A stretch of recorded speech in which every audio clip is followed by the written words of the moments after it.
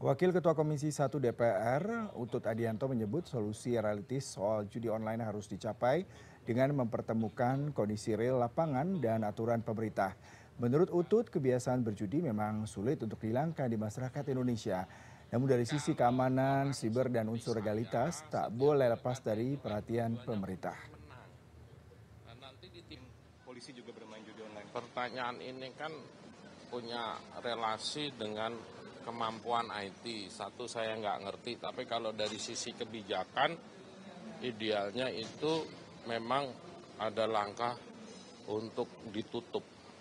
Nah langkahnya apa ya yang menteri Kominfo, langkahnya apa yang menteri Badan Cyber, langkahnya apa yang ngerti ya polisi kan begitu.